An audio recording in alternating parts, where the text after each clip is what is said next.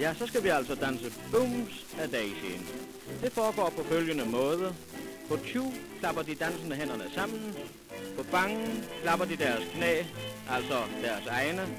Og på Booms, der kommer det lille kokette.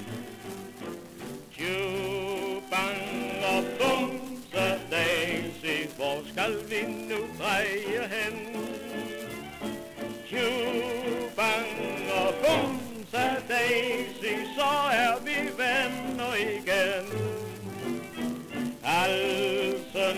man bliver lidt æsig, når man skal råbe og dog. Syng så tju og bang og bum, så Daisy, nu er vi oplagt til sjov. Wow, wow!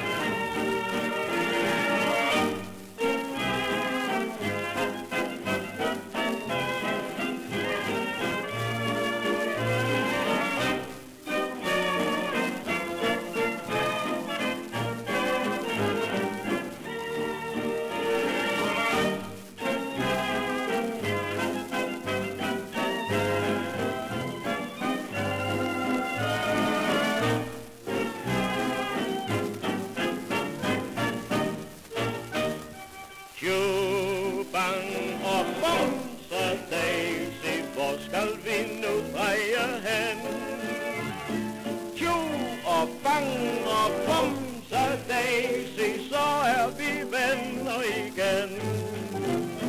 Halsen, man bliver lidt hæsig, når man skal råbe og dog. Syng så tju og bang og bum, of the shout, wow, wow.